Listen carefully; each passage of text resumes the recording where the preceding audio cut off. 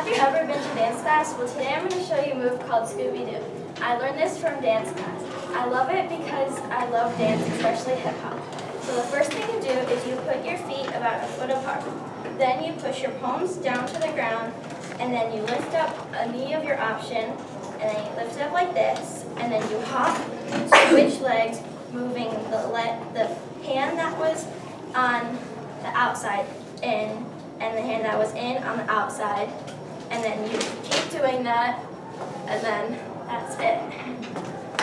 All right, awesome. Very good.